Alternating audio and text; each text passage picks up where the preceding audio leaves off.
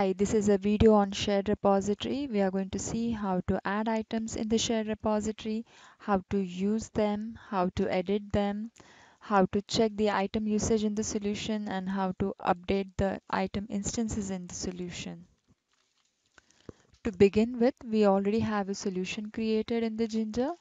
So double click on the solution, it will take you to Automate tab. This is the area where you can see your shared repository. This is shared repository icon. It is a centralized repository within Ginger where you can share the actions, variables, activities, and activity groups across all the business flows within the solution. Now let's see how to add an action in the repository. For that, select the desired action. Click on this star plus icon this will add this action in the Actions tab of the shared repository.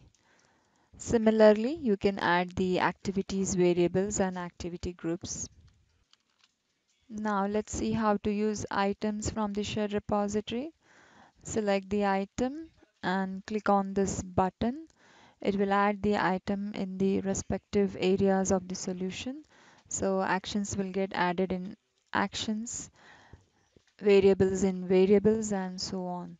These items can be used in the same business flow or in another business flow or in the solution. Now let's see usage of this item in this solution.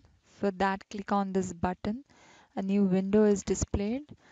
Here details are given like which are the business flows where this item is used, the activity names where it is used, the usage type where it is an instance or it is an original and its status. Now let's see how to update item in the repository. For that select the desired item, click on this pen icon, make the desired changes and click on save button. Here the confirmatory message is displayed. It is giving detail number of instances in the solution along with yes and no button. Clicking on yes button will update the repository. However, the instances in the solution will not be updated. Now there is another way for updating the items in the shared repository. For that, select the desired item in the solution. Click on this pen icon. Edit window is displayed. Make the desired changes. Now this star in orange color indicates that the item is in repository. Hover your mouse on the star and two more icons are displayed. When you click on this icon, it asks if you want to override the changes in the repository. And if you select yes, then the existing item will be saved into pre, pre-version folder in the solution folder. So when I'll say yes, the changes will be updated.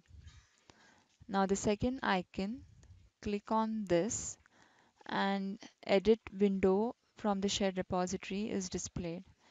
You can make changes here as well and click on save button. It will give message with the number of places this item is used. And when you click on yes button the changes will be updated in repository. However the linked instances will not be updated. Now let's see how to update the item instances in the solution. For that select the item in the repository where changes are made. Click on this icon and it will display the item usage window here you can select the desired instances you want to update. You can also partially update the instances by selecting one of these values. Click on either update all selected or save all updated usages. So that's it for this video. Thank you for watching.